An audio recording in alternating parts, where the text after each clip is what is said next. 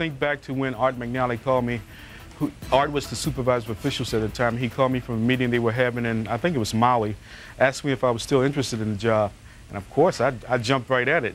You got to realize, being a referee is the easiest job in the league, if you believe it or not. As a field judge, I was 25 yards deep downfield. Nobody was supposed to get behind me. And back during that time, you think about keeping up with guys like Willie Gault and Ron Brown.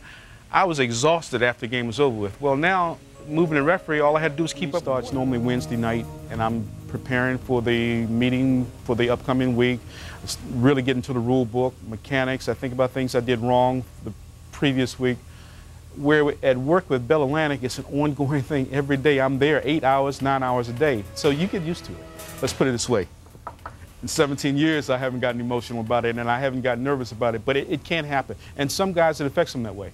Me being the leader of the crew, I can't do, do that because I'm sure my guys would pick up on the same thing, and I don't want them to feel that way. I want them to take, to use an old cliche, one game at a time. We make an attempt to communicate with the players. We don't take this holier than thou attitude. And uh, if you, at any of my games, you'll see my guys talking back and forth to the players.